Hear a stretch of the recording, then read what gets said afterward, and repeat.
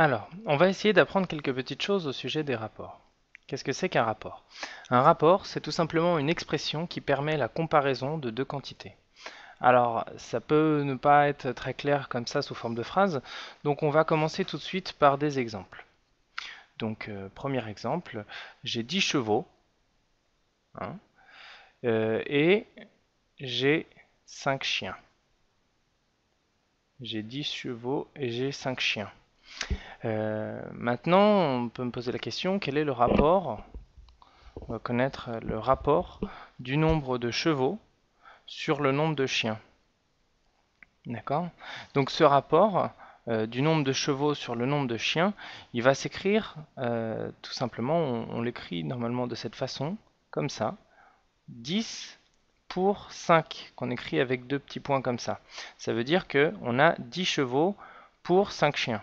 On peut également écrire ce rapport sous forme de fraction, 10 pour 5, comme ceci. Et on peut également l'écrire en toutes lettres, bien sûr, 10 pour 5. Donc voilà, ici j'ai euh, ici 10 c'est le nombre de chevaux, 10 c'est le nombre de chevaux, 10 c'est le nombre de chevaux. J'ai donc euh, exprimé un rapport du nombre de chevaux sur le nombre de chiens par 10 pour 5. Alors qu'est-ce que ça nous dit? Euh, Ça nous dit que ça nous donne le nombre de chevaux qu'on a pour une certaine quantité de chiens. En l'occurrence ici, c'est 5. Alors qu'est-ce qu'on peut vouloir faire avec ce rapport aussi? Euh, On peut essayer de vouloir le simplifier. Par exemple, euh, connaître l'information directement de combien on va avoir de chevaux si on a un seul chien. Donc dans ce cas, on va avoir ici 1 pour le nombre de chiens.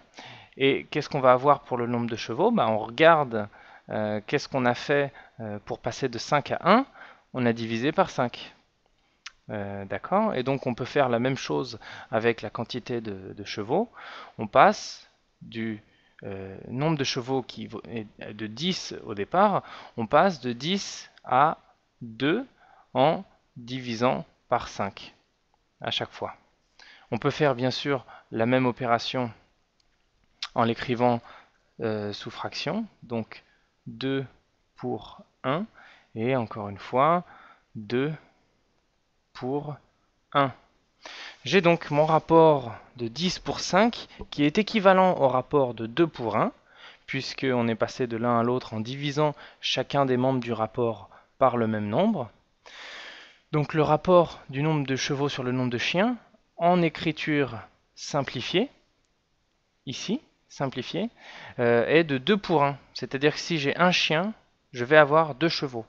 Ça ne va pas changer. Et pour deux chevaux, je vais avoir un chien. Euh, donc ça, c'est le rapport du nombre de chevaux sur le nombre de chiens. Maintenant, si on me demande l'inverse, le rapport du nombre de chiens sur euh, le nombre de chevaux, qu'est-ce que je vais faire? Eh bien, je vais tout simplement inverser ce rapport. Je vais avoir 1 devant 1 pour 2. Donc je, pour, euh, si j'ai deux chevaux, j'ai un chien. Encore une fois, 1 pour 2 et avec les différentes écritures que l'on a vues. Donc le rapport euh, final du nombre de chiens sur le nombre de chevaux, c'est de 1 pour 2. Très bien, donc passons euh, tout de suite à présent à un autre exemple. Euh, on va prendre un exemple avec un peu plus d'éléments, cette fois-ci dans notre rapport. Donc, euh, admettons que l'on ait, euh, disons, 20 pommes. Alors, on va partir avec des fruits cette fois-ci. On a 20 pommes. on a, on va dire, 40 oranges. Voilà, 40 oranges. Et on va avoir, disons, 60 fraises. Allez, 60 fraises.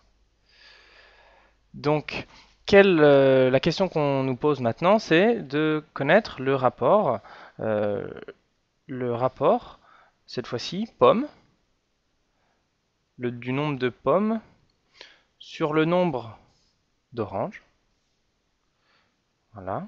On va écrire directement donc la notation de rapport avec les deux points, le nombre de pommes sur le nombre d'oranges sur le nombre enfin de fraises. Voilà. Donc, euh, quel va être ce rapport? Alors c'est très simple, il suffit de prendre le nombre de, pommes qu'on a. Donc pour 20 pommes qu'on va avoir, on va avoir euh, 40 oranges et on va avoir enfin 60 fraises. Alors comme on a vu tout à l'heure, euh, ça c'est un rapport, mais on peut, le simplifier un petit peu euh, pour obtenir euh, des chiffres un petit peu moins grands. Donc le, plus petit, nombre ici, c'est le nombre de pommes, on en a 20. Alors on regarde si on peut le faire passer à, à, à 1. D'accord? On va donc réduire chacun de ces, de ces nombres. Et pour euh, les pommes, si on a une pomme, donc ici, on divise, euh, je vais l'écrire, on passe de 20 à 1 en divisant par 20, bien sûr. Voilà. Donc pour une pomme, je vais avoir 40 divisé par 20, 2 oranges. Et je vais avoir 60 divisé par 20, 3 fraises. Donc le rapport simplifié que l'on obtient pour euh, le, rapport pomme sur orange sur fraise est de 1 pour 2 et pour 2 oranges et pour 3. Alors, on l'a dans un sens. Qu'est-ce qui se passe si on nous avait demandé par exemple le rapport fraise sur orange? On va écrire en abréviation cette fois-ci. Fraise sur orange sur pomme eh ben, il suffit d'inverser euh, les, euh, les, nombres euh, de notre rapport précédent. D'accord? On a tout simplement fraises, on a 3 fraises pour 2 oranges et pour une pomme. Donc le rapport est de 3 pour 2 pour 1. Donc, quel que soit l'ordre des composants euh, que l'on donne, fraise sur orange sur pomme, il faut tout simplement donner les nombres euh, dans le même ordre. Donc le rapport fraise sur orange sur pomme est de 3 pour 2 pour 1. Très bien, donc pour résumer, on avait 10 chevaux et 5 chiens, et on a dit que le rapport chevaux sur chiens était de 10 pour 5, et on a transformé ce rapport en 2 pour 1. De même avec les pommes, le rapport pomme sur orange sur fraise, qui était de 20 sur 40 sur 60, on l'a transformé en 1 sur 2 sur 3. Donc d'un côté on a la forme simplifiée, et de l'autre côté, on a la forme brute qui est, qui est obtenue à partir des données. Alors les deux rapports sont équivalents, c'est-à-dire qu'ils sont tous les deux justes, mais euh, la convention veut qu'en général, on essaye, si on a un rapport comme ceci, on essaye de l'écrire sous sa forme réduite ou simplifiée, euh, comme ici et ici. Voyons maintenant un autre exemple. On nous dit que dans une classe de 40 élèves, le rapport du nombre de garçons sur le nombre de filles vaut 2 pour 3. On nous demande combien y a-t-il de filles dans cette classe? Alors cette fois-ci, dans cet exercice, ce qui est différent par rapport aux exercices précédents, c'est qu'il ne s'agit plus de trouver un rapport, puisque ce rapport, on nous le donne ici même. Euh, il suffit, on nous demande en fait de trouver une quantité à partir d'un rapport. Donc euh, comme ça, on voit les choses un petit peu d'un autre angle. Donc comment va-t-on répondre à cette question? Alors une façon de voir les choses, ça va être d'abord réécrire ce rapport, le rapport garçon-fille, le rapport garçon sur fille, euh, qui va être égal à 2 divisé par 3. Donc le rapport garçon-fille vaut 2 tiers. Qu'est-ce que ça veut dire? Ça veut dire que si j'ai 5 étudiants, donc dans un groupe, de, un groupe, on va dire que j'ai un groupe de 5 élèves, voilà, je vais avoir deux filles, je vais avoir trois filles, pardon, trois filles, plus deux garçons. Voilà. Donc, dans un groupe de 5 élèves, j'ai trois filles et deux garçons. La question maintenant qu'on peut se poser, c'est combien j'ai de groupes dans ma classe? D'accord? Donc, dans ma classe, j'ai 40 élèves. Et euh, pour connaître le nombre de groupes de 5 élèves, je divise par 5 élèves par groupe. Et ça, ça me donne 40 divisé par 5, ça vaut 8. Et j'ai donc 8 groupes de 5, de 5 élèves. Voilà. J'ai 8 groupes de 5 élèves. Et je sais que dans un groupe, j'ai 3 filles. Je vais donc avoir 8 fois 3. 3 euh, filles par groupe. Donc, ça me vaut 24 filles. J'ai donc 24 filles euh, dans la classe. Alors, on peut poser la même question pour le nombre de garçons. Euh, cette fois-ci, je connais le nombre de groupes que j'ai et le nombre de groupes de 5 élèves, et j'ai 2 garçons par groupe. Je vais donc avoir 8 fois 2, qui est égal à 16 garçons.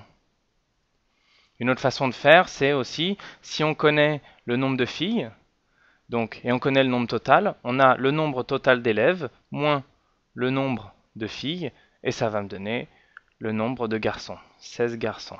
Donc, quelle que soit la méthode choisie, on va obtenir le bon nombre de garçons. Alors à présent, on va continuer sur un autre exemple pour terminer, un exemple un petit peu plus difficile cette fois-ci. Euh, on nous dit que dans une ferme, le rapport mouton sur poulet sur cochon euh, est de 2 pour 5 pour 10. C'est-à-dire que euh, on va pour deux moutons, donc deux moutons ici, je vais avoir combien de poulets? 5 poulets et je vais avoir 10 cochons. Voilà. Donc le rapport mouton-poulet-cochon est de 2 pour 5 pour 10. Sur un total de 51 euh, animaux, combien y a-t-il de poulets? Alors, une façon de, voir ça, ça va être un petit peu de la même façon qu'on a fait tout à l'heure euh, nos groupes avec euh, les, les, enfants de la classe. Donc, on va faire un groupe de 17 animaux. Sur 17 animaux, qu'est-ce que je vais avoir? Comment j'ai obtenu 17 17, c'est tout simplement 2 euh, plus 5 plus 10. Hein. Donc j'additionne chacun des membres de mon rapport et j'obtiens 17. Donc pour 17 animaux, qu'est-ce que j'ai? Je vais avoir 2 euh, moutons. D'accord? 2 moutons. Je vais avoir 5 poulets. 5 poulets et 10 cochons. 10 cochons. Voilà. Euh, alors maintenant, combien je vais avoir de poulets? Alors d'abord, je veux savoir combien j'ai de groupes de 17 animaux dans mes 51. Pour cela, on fait comme tout à l'heure, 51 divisé par 17. J'ai 51 animaux et j'ai 17 animaux par groupe. 51 divisé par 17, ça donne 3. Vous pouvez vérifier en multipliant 3 par 17. 3 par 7, ça fait 21. Je retiens 2. 3 fois 10, 30, plus 21, ça fait 51. J'ai donc 3 groupes de 17 animaux. Et dans chaque groupe, j'ai 5 poulets. Je vais donc avoir 3 fois 3 fois 5, qui est égal à 15 poulets qu'on va souligner. J'ai donc 15 poulets euh, dans ma ferme. On peut faire exactement avec le même processus, euh, obtenir le nombre de moutons ou le nombre de cochons. Alors, encore une fois, tout ce que j'ai fait ici, c'est uniquement de créer un groupe à partir de mon rapport, donc 2 plus 5 plus 10 qui vaut 17, 17 euh, animaux. J'ai regardé combien j'ai de groupes, 3 groupes, de 17 animaux. Et dans mes 3 groupes, dans chaque groupe, j'ai 5 poulets, 3 fois 5 égale 15 poulets.